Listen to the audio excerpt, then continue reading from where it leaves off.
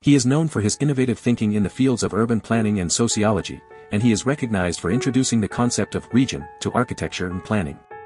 He coined the term conurbation and elaborated on the concept of neotechnics as a way to create a world beyond commercialization. His name is Patrick Geddes. In the world of urban planning and sociology, one name stands out, Sir Patrick Geddes. Hailing from Britain, Geddes was not just a biologist, sociologist, and geographer, but also a philanthropist and a pioneering town planner. His innovative thinking and unique approach to urban planning have left an indelible mark on the field. Geddes drew inspiration from philosophers Auguste Comte and Frederic LePlay, incorporating their ideas into his work. He introduced the concept of region to architecture and planning, recognizing the importance of understanding the cultural, social, and environmental context of a place. He even coined the term conurbation to describe the merging of urban areas. But Geddes didn't stop there. He believed in the need for a different approach to rebuilding the world, one that went beyond commercialization and the dominance of money. He called this approach neotechnics, emphasizing the importance of creating a society that focused on more than just economic gain. Geddes's passion for all things French led him to establish the Collège des Écossais in Montpellier, France in 1924. This international teaching establishment became a hub for spreading his ideas and teachings.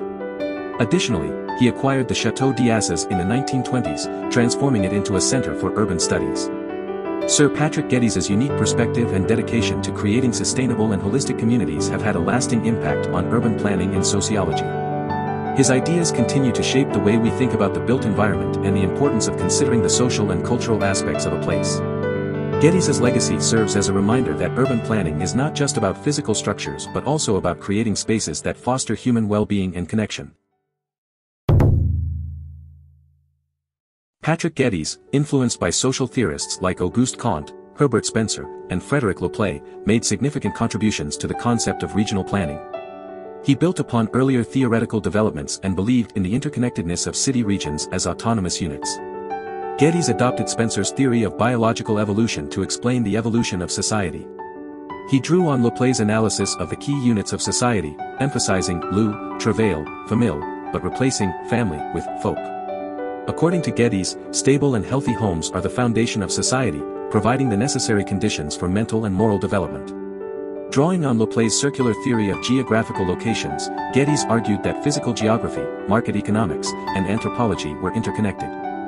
He believed that sociology was the science of man's interaction with the natural environment. Regional surveys were the basic technique, with town planning being the chief practical application of sociology.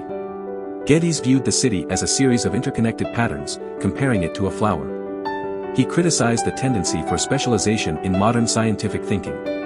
He also drew inspiration from Eastern philosophy, which embraced the concept of life as a whole and contributed to the beauty of Indian cities. Geddes distinguished between two forms of human social life, paleotechnic and neotechnic. He saw paleotechnic cities as self-destructive, driven by competition, while neotechnic cities fostered interaction and community formation. Geddes believed that the destruction of cities during World War I was not solely due to imperialist invasion but also a consequence of the prevalence of paleotechnic forms of life in European society. Amidst the rapid development of technology, industrialization, and urbanism, Geddes witnessed the social consequences of crime, illness, and poverty.